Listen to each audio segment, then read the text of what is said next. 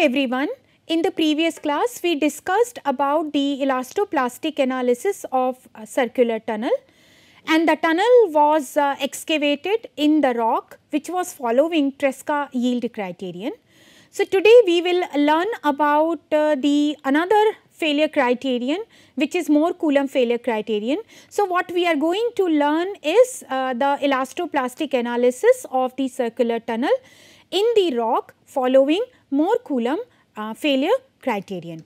So, we are going to consider the similar geometry except for the fact that here we are going to consider the elastoplastic boundary radius as d. Rest everything remains the same loading, geometry, boundary conditions everything being symmetric and therefore, we are assuming that the shape of the elastoplastic boundary is going to be circular. Any point in the domain we can represent by r comma theta where r is the radial distance of this point from the center of the circle and theta being measured in the anti-clockwise direction from the horizontal axis. So, upon the excavation of this tunnel, there is going to be the formation of the plastic zone in the surrounding of the periphery of this cavity and that is going to be the loosened rock and we are representing the rock here by Mohr Coulomb criterion. So, as I mentioned to you everything remains the same such as geometry, loading condition and boundary condition except for that there is a change in the yield criterion. So, we are going to have the rock following Mohr Coulomb yield criterion. So, according to this we have sigma 1 minus sigma 3 as 2c cos of phi plus sigma 1 plus sigma 3 sine of phi. Now, we assume the radius of elastoplastic boundary to be equal to d.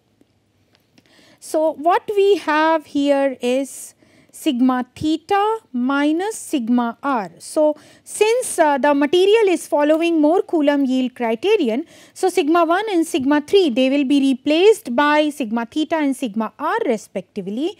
So, this is going to be 2 c cos phi plus sigma theta plus sigma r sine phi. Now, in the elastic zone we can write the yield condition by single prime in this manner. That is sigma theta prime minus sigma r prime.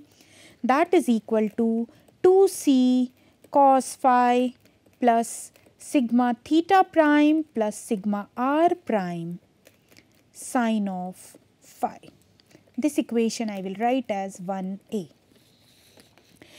and in the plastic uh, zone we will represent these stresses using this double prime. So, accordingly we will write in this manner that is sigma theta double prime minus sigma r double prime.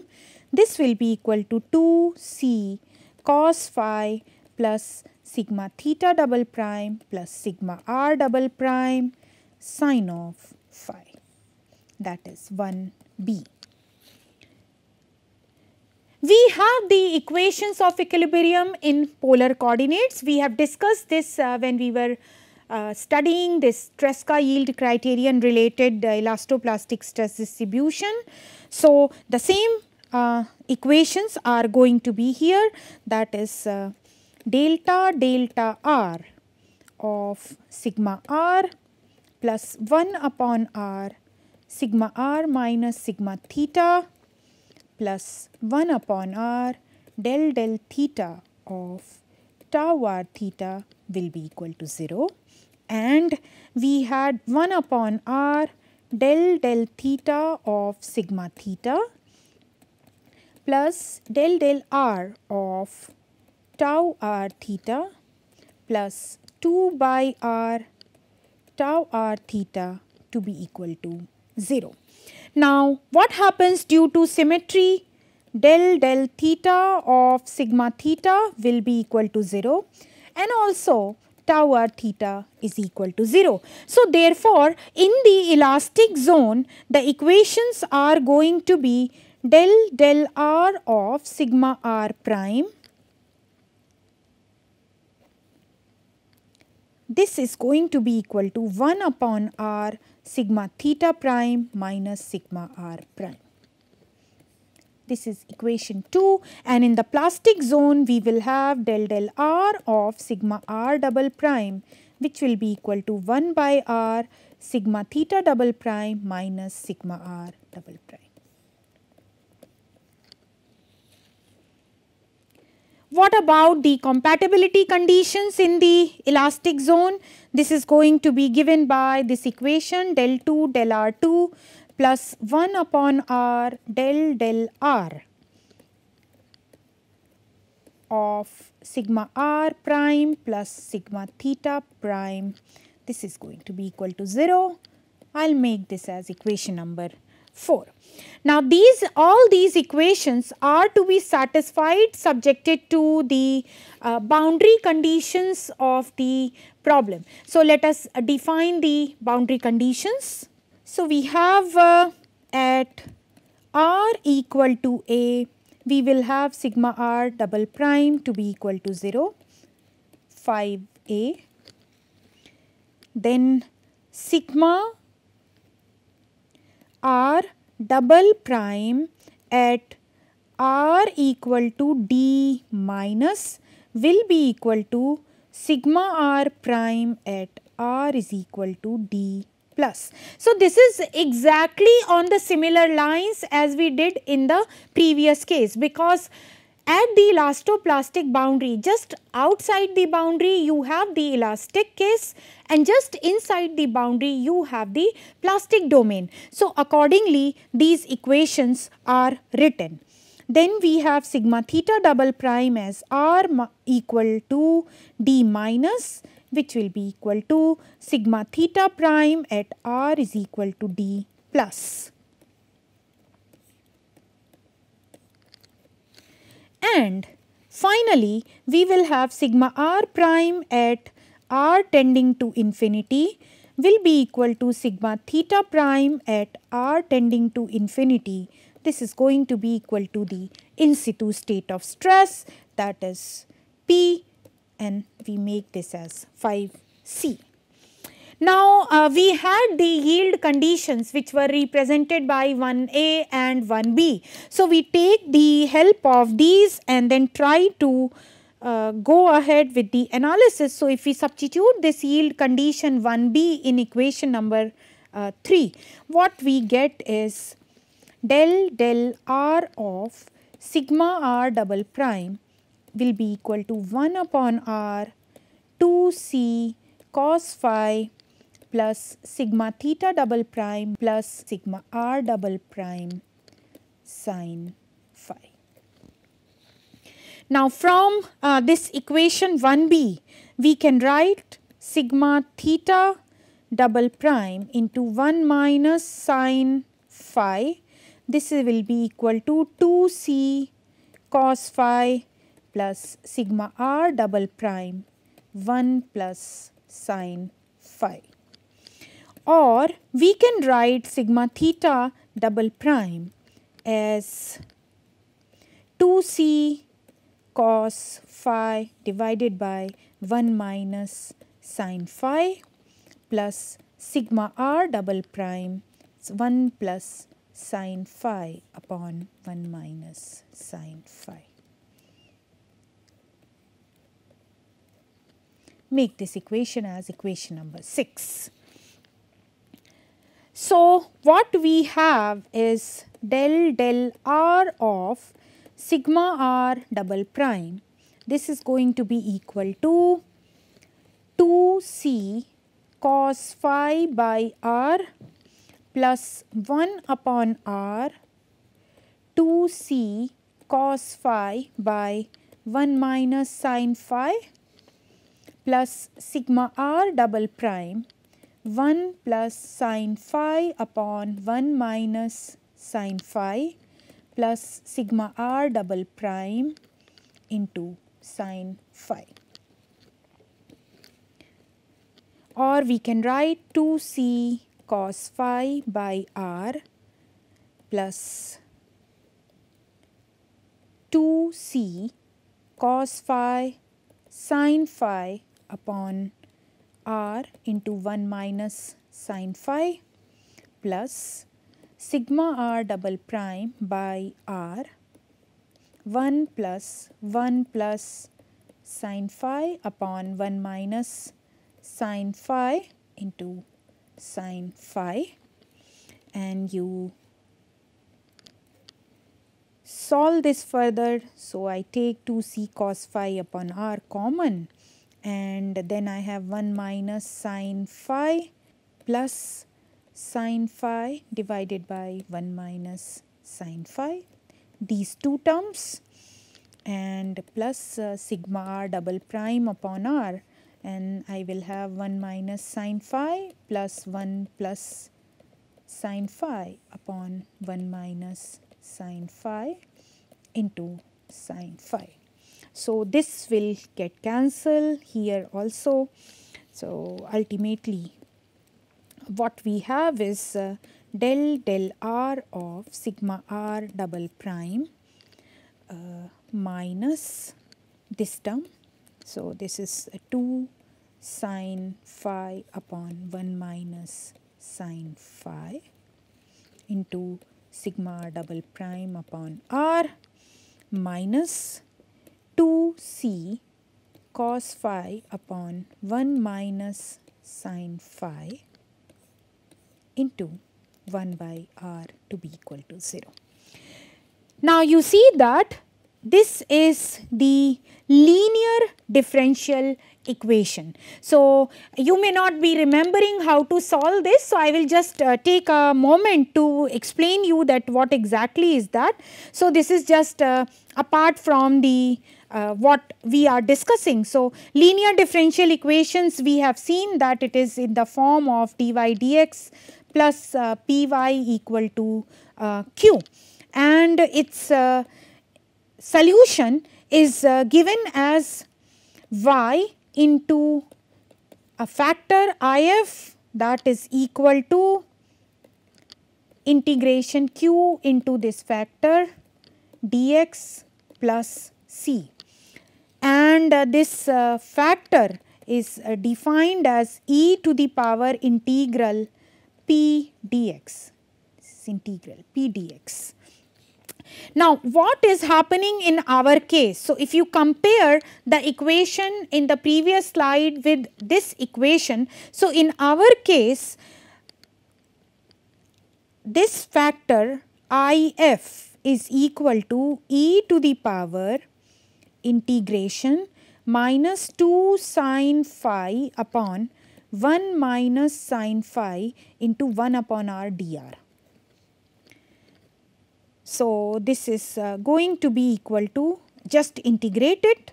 Uh, so, this is going to be e to the power minus 2 sine phi upon 1 minus sine phi ln r. Or we can write it as r to the power minus 2 sine phi upon 1 minus sine phi or we can write this as 1 upon r to the power 2 sine phi upon 1 minus sine phi. This is what is the factor if in our case. So, let us try to find out the solution following this. So, let us come back to our Mohr Coulomb uh, criterion.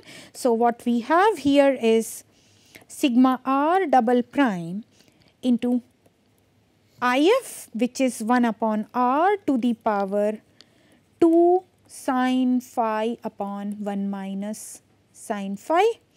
This is going to be equal to uh, integration 2c cos phi upon 1 minus sin phi into 1 upon r into 1 upon r to the power 2 sin phi upon 1 minus sin phi dr plus the constant of integration say a prime. So,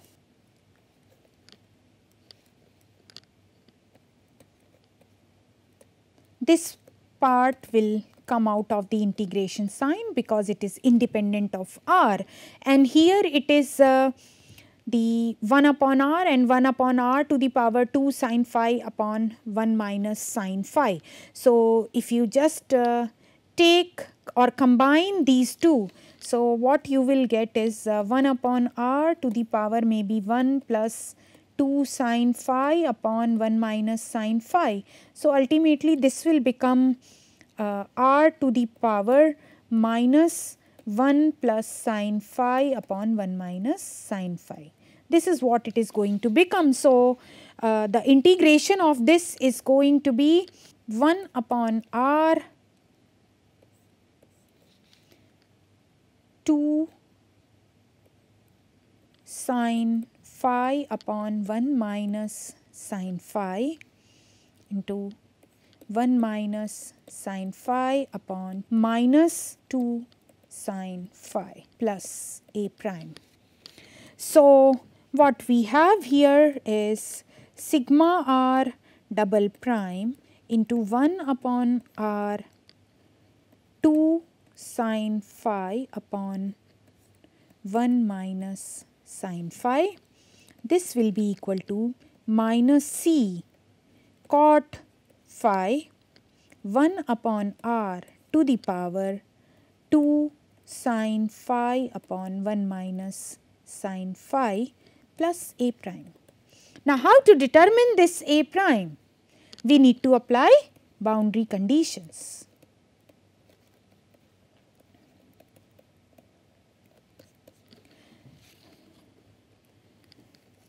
So, we have at r is equal to a sigma r double prime is equal to 0.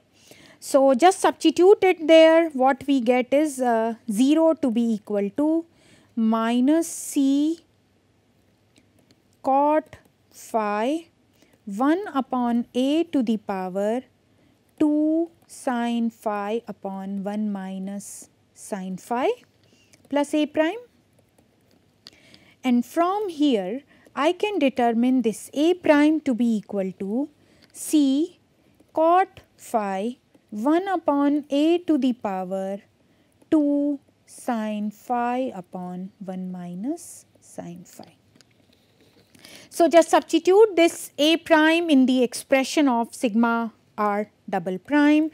So, therefore, we get sigma r double prime as minus c cot phi plus c cot phi 1 upon a to the power 2 sine phi upon 1 minus sine phi into r to the power 2 sine phi upon 1 minus sine phi. Now, for the simplification in the further analysis, I just assume this uh, capital D to be equal to 2 sine phi upon 1 minus sine phi. This is just for my convenience, it will help us uh, in understanding. So, this is uh, sigma r double prime will be c cot of phi that is going to be minus 1 plus r upon a to the power d. Okay. So, I will have here this as equation number 7. So, when we are done with the analysis, we can always substitute back this expression for capital D. Now, this from this equation number 6 that we had earlier with respect to sigma theta double prime, uh, what we have here is that sigma theta double prime is going to be 2c cos phi upon 1 minus sine phi plus C cot phi minus 1 plus r upon a to the power d. So, here I am substituting the expression for sigma r double prime. 1 plus sine phi upon 1 minus sine phi. So, just further uh, simplify sigma theta double prime is going to be equal to, I will keep this uh, first term as it is.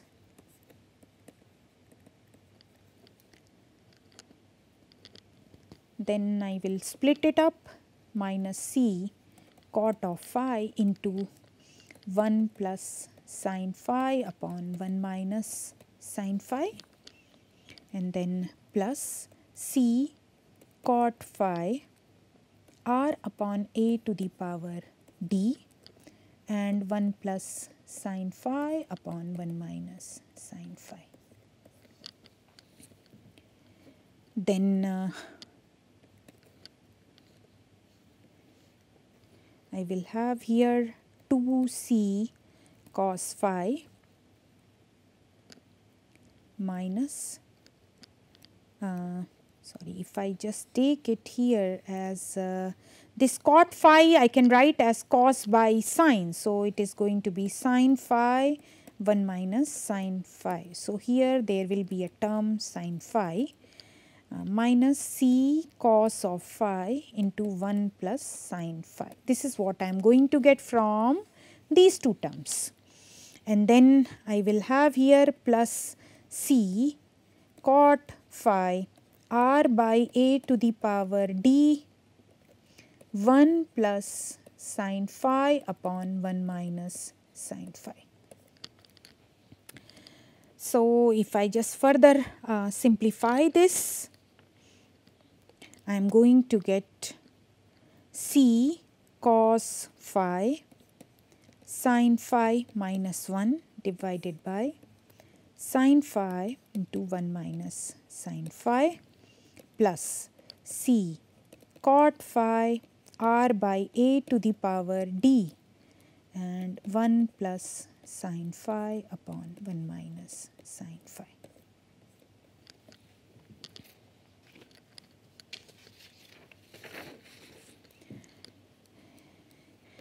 or we can write sigma theta double prime as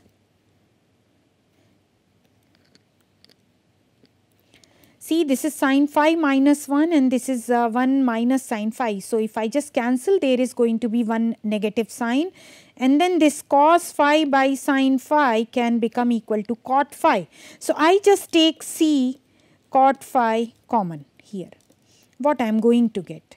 So, I will have r by a to the power d into 1 plus sine phi upon 1 minus sine phi and then minus 1.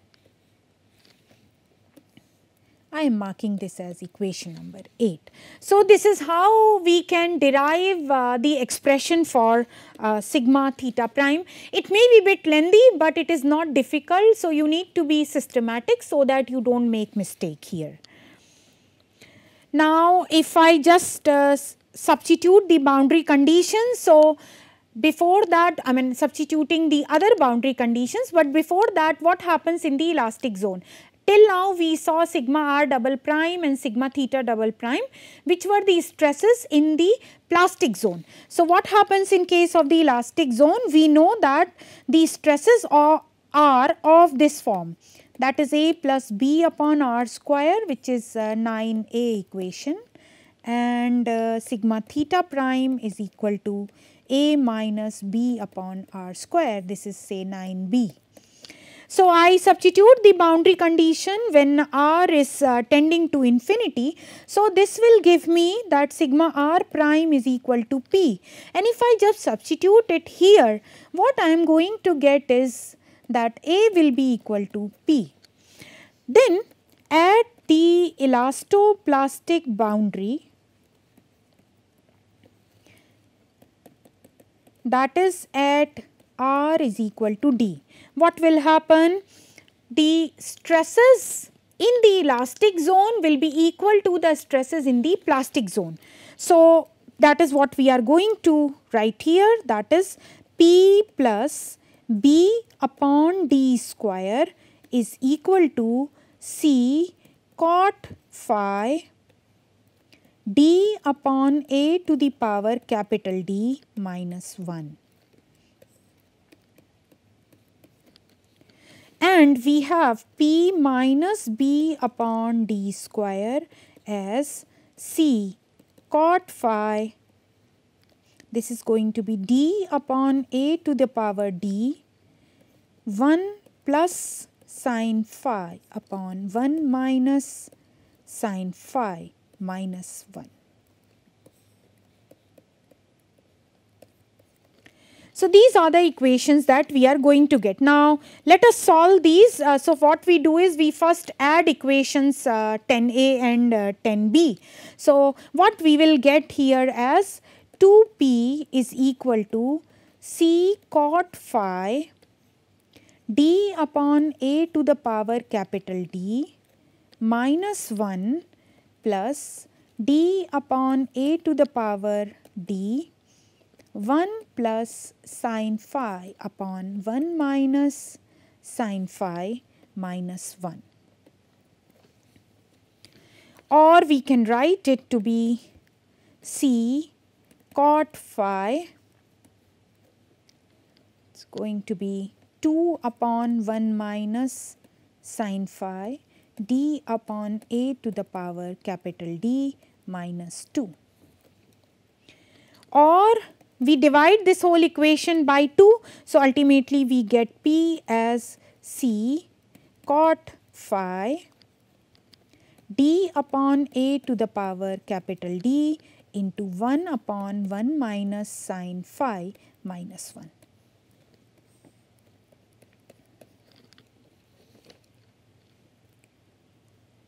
So, I just substitute this uh, into equation 10a. So, what I will get is uh, this uh, that is p plus b upon d square. So, instead of p I will substitute this uh, c cot phi d upon a to the power capital D 1 upon 1 minus sine phi minus 1 plus b upon d square this will be equal to C cot phi d upon a to the power capital D minus 1. Now, you just transfer this term on the other side of the equality sign. So, what we will get is b upon d square is equal to and then we can take c cot phi outside so, what we have is d upon a to the power capital D minus 1 and then minus d by a to the power capital D 1 upon 1 minus sine phi and then this will be minus minus plus 1. So, this will get cancelled. So, ultimately what you get is uh, c cot phi and then take d upon a to the power d outside of this bracket. So, you will have minus sine phi upon 1 minus sine phi. Then this cot phi you can write as cos phi by sine phi. So, that way uh, what you will get is B is equal to uh, minus C cos phi upon 1 minus sine phi d upon a to the power capital D into d square. So, this is how you get the expression of uh, this other constant b. Now, just substitute all these in equation number uh, 11.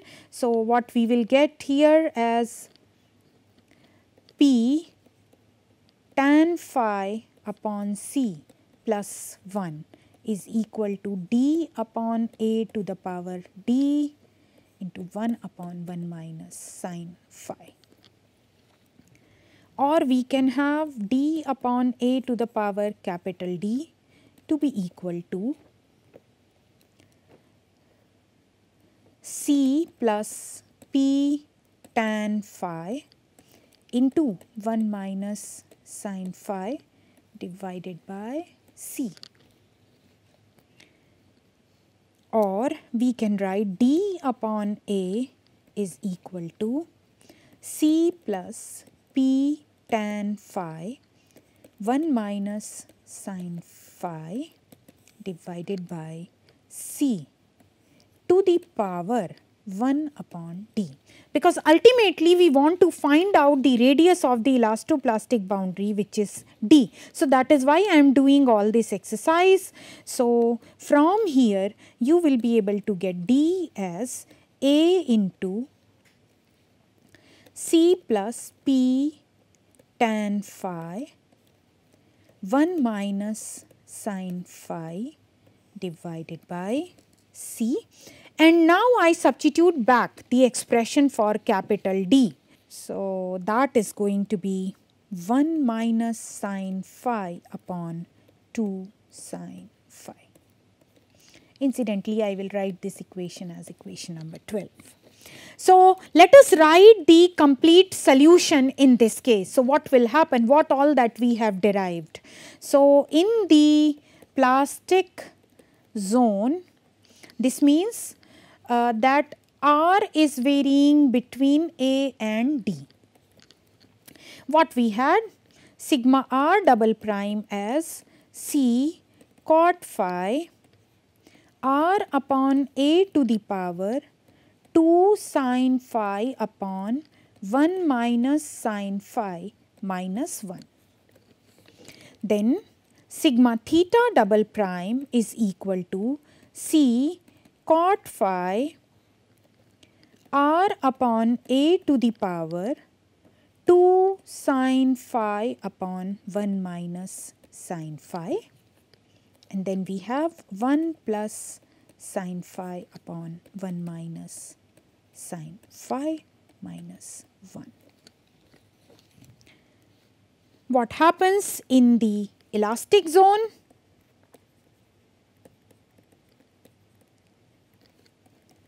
We have r greater than or equal to d. So, we just derived sigma r prime as p minus 1 upon r square c cos phi by 1 minus sine phi d upon a to the power capital D into d square.